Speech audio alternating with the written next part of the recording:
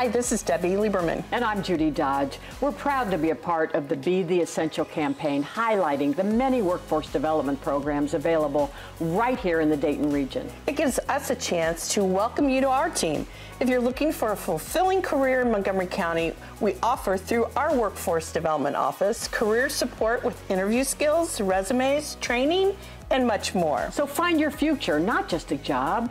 Go to betheessential.com.